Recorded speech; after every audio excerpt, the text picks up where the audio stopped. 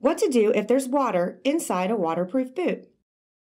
First, make sure the liquid inside is not contaminated with any hazardous substances. If contaminants get in, they will soak into the inner liner and the boots will need to be replaced. The insoles can be removed and washed in a washing machine in cold water. Insert several paper towels into the boot all the way down to the toe. Exchange them with fresh sheets several times to draw out most of the moisture. Allow your footwear and insoles to dry at room temperature, but do not use forced hot air to speed up the process.